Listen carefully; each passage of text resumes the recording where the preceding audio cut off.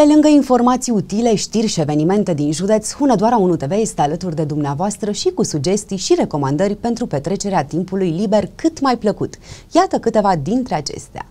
Zilele acestea puteți să vă desfătați privirea și să vă hrăniți sufletul vizitând expozițiile ce tocmai au fost vernisate. La Orăștie este deschis la spațiul expozițional Sinagoga până în 14 aprilie salonul de pictură, omagiu la 90 de ani de la nașterea lui Liviu Lăzărescu. Evenimentul reunește lucrări din diverse colecții personale și vă invită să călătoriți împreună în lumea pictată din sufletul lui Liviu Lăzărescu. Fragment Documentarium este o expoziție de fotografie și fotomanipulare digitală a doi artiști ce poate fi vizionată la Galeria Națională de Artă Forma din Deva. Expoziția este organizată de Consiliul Județean Hunedoara și de GAMPT Hunedoara în parteneriat cu filiala Deva a Uniunii Artiștilor Plastici din România. Sâmbătă 6 aprilie de la ora 18 la Teatrul din Petroșani spectacolul Operele complete ale lui William Shakespeare. Toate cele 37 de comedii și drame scrise de Shakespeare sunt prezentate în manieră elizabetană. Bărbații interpretează și roluri de femei într-un maraton succint de către trei actori. Dramaturgia generează o legătură cu actualitatea, se cântă rep, se omoară, se răzbună, se plânge și se iubește pătimaș după toate regulile artei. Publicul este implicat direct în acest montagne rus de factură comică. În 11 aprilie de la ora 19. Nu ratați premiera piesei Interludii, scrisă de Eugen O'Neill, laureat al Premiului Nobel pentru Literatură și adaptată de renumitul regizor Alexander Hauswater. Spectacolul ce încorporează ca producție muzica și mișcarea, dansul și pantomima pentru a crea un spectacol modern care îmbină toate stilurile și genurile teatrale. O familie americană, trei generații care se iubesc, se ceartă, se împacă și mai ales își caută un destin fericit. Atenție, spectacolul este interzis tinerilor sub 18 ani. Sau puteți experimenta ceva nou, o ieșire cu bicicleta prin una din cele mai lungi tunele feroviare din România, tunelul de 747 de metri de la Govăjdie și în același timp să vă bucurați de priveliștile spectaculoase din ținutul pădurenilor. Iar pentru adepții unei duminici relaxante în fața televizorului, vă sugerăm să urmăriți emisiunea la izvor de cântec drag realizată de Elis Ursu la Hunedoara 1 TV începând cu ora 10. Duminica aceasta, Elis Ursu are doi invitați, pe cunoscuți interpreți de frumoase melodii populare românești, Letiția Mihuțiu și Dani Balea. Deci, nu ratați emisiunea Elisei Ursu duminică de la ora 10 la Hunedoara 1 TV.